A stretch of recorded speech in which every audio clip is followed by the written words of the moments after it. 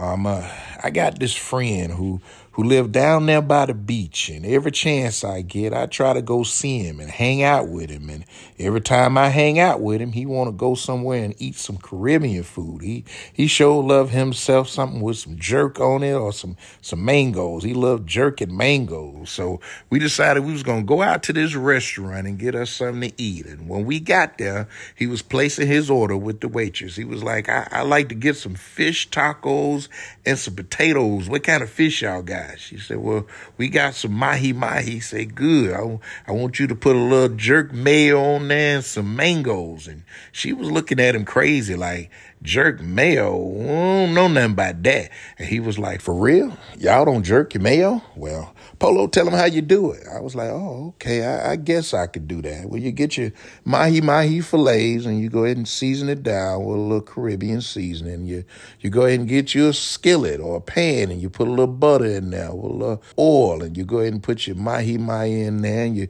you sear them on both sides so they're good and brown and tender. And you, you go ahead and get you some lemon, and you go ahead and squeeze you a little lemon across the top, and you go ahead and pull your mahi mahi out that pan and make sure it sit to the side, and you, you go ahead and get you some red potatoes, and you cut those up, and you, you put that in the pan with a little butter and a little oil, and you season that down with a little salt, a little pepper, and you, you go ahead and stir those up till they good and brown and crispy around the edges. And then you go ahead and get you some mushrooms and you get you some onions and you go ahead and sprinkle that in there and you saute that into the onions, incorporate with those potatoes. And you want to make sure those potatoes are good and tender. And then you go ahead and pull that off and set that to the side. And you go ahead and get you some mayo and get you a little jerk seasoning and you put that in a little bowl and you stir it up with your little spoon till it was good incorporated. Then you go ahead and get your mahi mahi and you cut that into little pieces. You want to make sure it's good and done and tender on the inside. Then you